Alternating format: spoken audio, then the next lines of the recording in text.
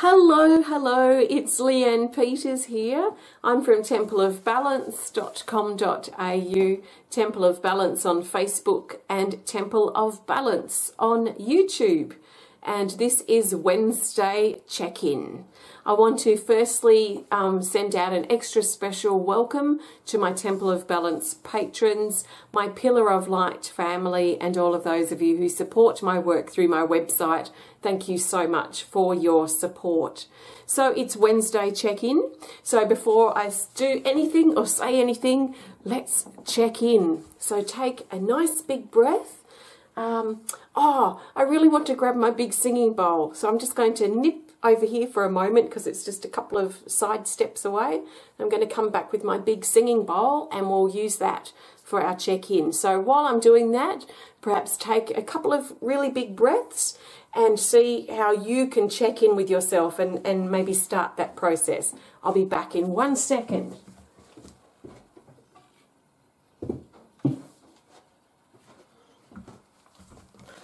Okay, maybe three or four seconds.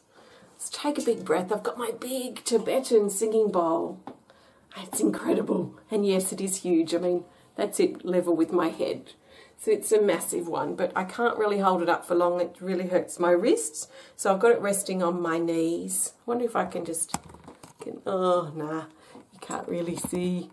I'll just lift this up a wee bit. So take a nice big breath. We're going to quickly check in and then I'm going to talk about a couple of things with you. So nice big breath and what we're doing is checking in. So remembering checking in is observing. We're not judging. We're observing. We're paying attention. We're listening to what's going on in our body. So physically, then emotionally, and then mentally. So this is your time now to do a scan and check in.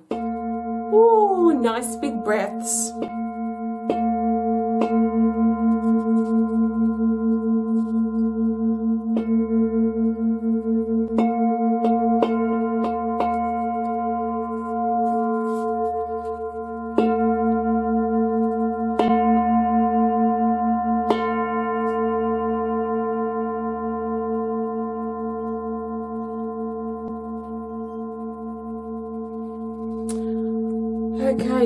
How are you doing in this moment? Not how you felt five minutes ago or yesterday, not how you might feel in an hour's time or tomorrow, but how you really feel now.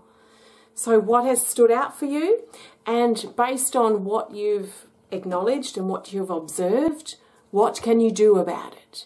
So, if you notice you're thirsty, if you've got a sore knee, if you are tired, if you um, are stressed out, if you whatever you notice, your checking in time is now about okay, I've observed this.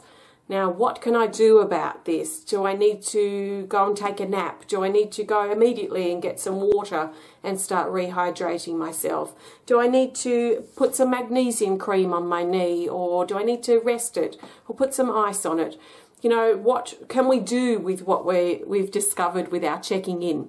That's where it counts because if we just notice it but don't do anything about it, what's the point of checking in? I mean, honestly. So I've got a question to answer, which I thought would be appropriate for our Wednesday check-in time. The question came in from someone, I'm not sure who it is. Um, Corey's left me the question from someone who's emailed or posted somewhere on uh, social media, but he hasn't given me a name, so I'm not sure who said this. But the question is, why can I be kind, loving, nurturing, and caring to my family, but not invest the same to myself? So I'll repeat that. Why can I be kind, loving, nurturing, and caring to my family or people I love, but I can't be that for myself. So there's a couple of, in fact, there's a lot of things we could talk about with this, and I just want to touch on a couple of things which I feel are important that stand out for me as I think about that question. I think um, we need to, if we notice that, hey, I can be kind and loving and nurturing and caring to these people I love in my life, but I realize that I'm not I'm not doing that for myself. So there might be an issue around priorities. So it's good from time to time, especially as we change. I like to do it probably once a month, um, probably a couple of times a month if I've gone through big changes in myself, and maybe it might draw out to once every two or three months if I'm feeling quite stable. So quite regularly, I would call that, I do check in and see what my priorities are because as we change, as we see that, hey, I'm I'm being really kind and, and caring to these people I love, but there's one person, really important person I'm neglecting, and that is myself. So that is a change. That's a change of attitude. So when that happens or when other things are shifting within us, I find that I need to look at my priorities. I need to look at how I'm spending my time. What are my priorities now? As my as things shift in me, I need to look at okay, maybe because I've been neglecting myself, I need to put myself a little higher up on the list. We might not be able to put ourselves top of the list, maybe not yet, and maybe not ever. But if we could just raise up on our priority list just a little bit, then uh, we might find that helpful too. So let's look at our priorities. If we notice that we're not um, caring and being kind to ourselves as much as we are to others. Um, I really feel that we've been in many ways trained to be this way. Um, we've been trained to put others first um, for many generations. So this is starting to shift and we will be starting to look at this. Um, so, you know, it's okay to uh, question and ask ourselves this question and explore um, the things that we are maybe imbalanced with in regards to how we're giving to others, but how we're letting ourselves also receive. Yeah, so in some ways it's kind of a reprogramming, isn't it? It's reprogramming, reprogramming ourselves to uh, treat ourselves differently and maybe shift some of our beliefs and truths that we thought about how to treat ourselves and how to treat others. I do really feel that, and I've said this quite a lot lately, is that um, I feel it's important that we don't also lean the other way where we become too selfish and too self-absorbed and have ourselves as top priority number one on our priorities list. I really feel that um, it's important for us to uh, continue to be that uh, kind and loving and nurturing and caring person uh, for other people as well who are a part of our life. That, um, you know, if we drop everything always and just always look after number one, um, I think sometimes we might lose our balance or lose ourselves. So I, I find like um, for me, I have a lot of priorities and I'm certainly up there towards the top, but I wouldn't say that I am number one priority. Um, I feel at this time for me, my family, my children are certainly my top priority. They are working out what they're doing with their life. They're becoming independent. They're, um, you know, 20 and nearly 19. So their lives are going down different paths. My priority has to be in helping support them as best as I can with advice or with um, helping get things organised or encouraging them and this sort of thing. So it has to be top priority right now.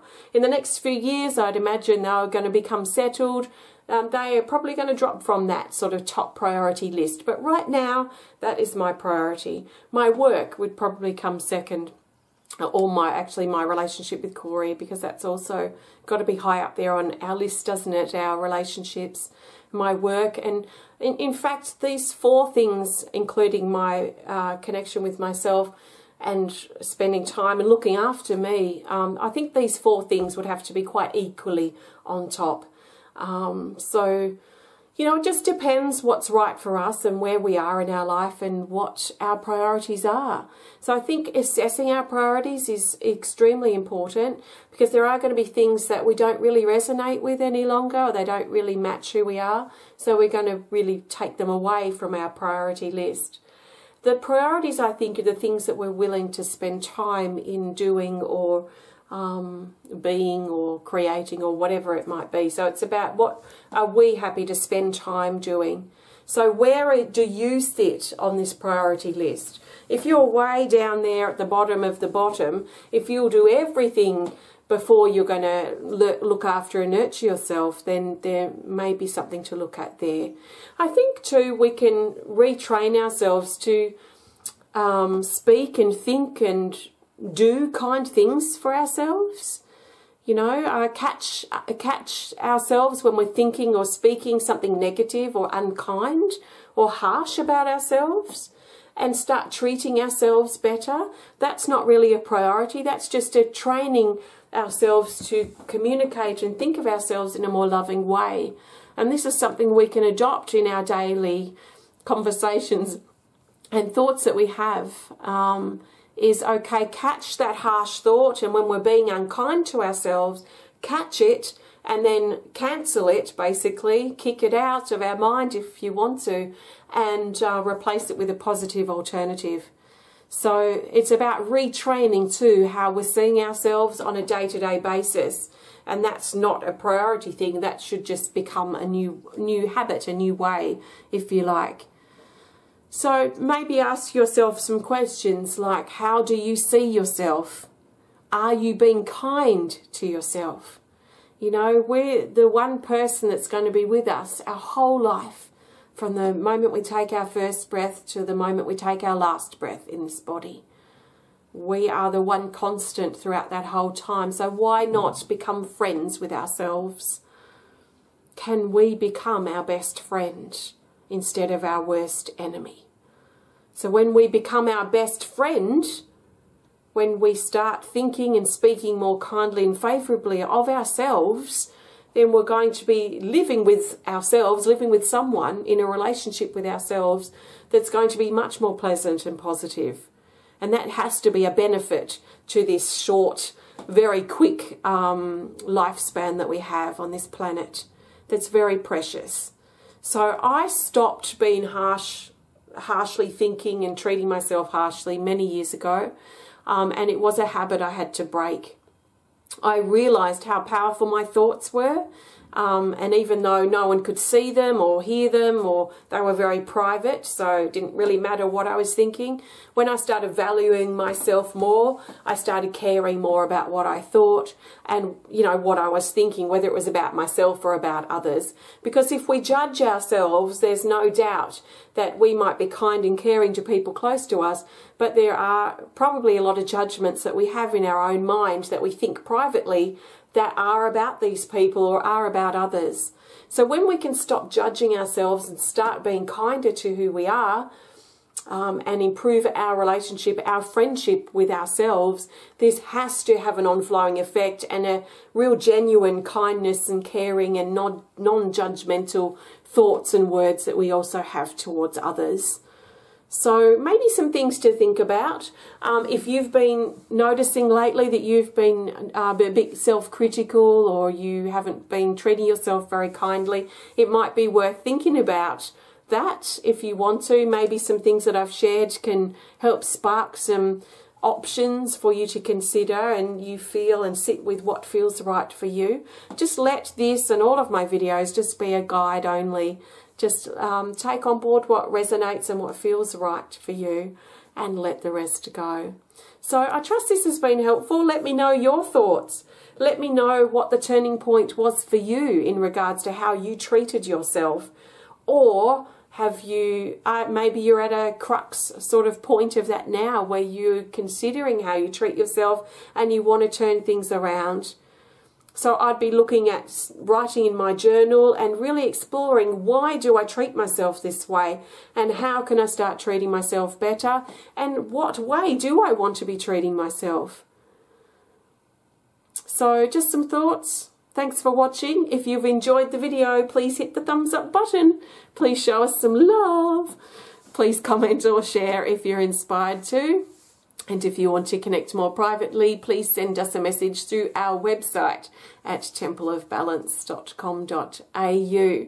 If you want to learn more about me and the work I do at Temple of Balance, please visit my website at templeofbalance.com.au. I have stacks of resources that I've created to support your self-healing journey and your empowerment and stepping into the things that you are inspired by and that you're passionate about. So if you resonate with my energy, there might be something that you find supportive on my website. So please take a look and by purchasing on my website you're supporting my work and that's essential in helping me be able to continue doing my work and these sorts of videos. So thank you so much. Have a fantastic rest of your day and keep an eye out next week as I pop back in again for Wednesday check-in. Thanks for joining me. Bye.